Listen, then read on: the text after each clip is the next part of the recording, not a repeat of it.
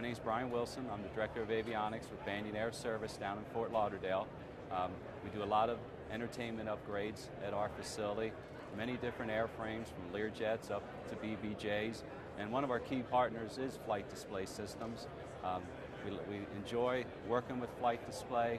Um, I know Mr. Gray since he started the company, and the, innovative products that they come out with is something that makes our sales team very excited to promote these new technologies. With example being the jukebox.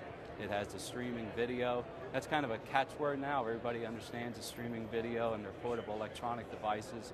So we're very excited about the jukebox and we enjoy working with Flight Display. They stand behind their product and they're a well-run company.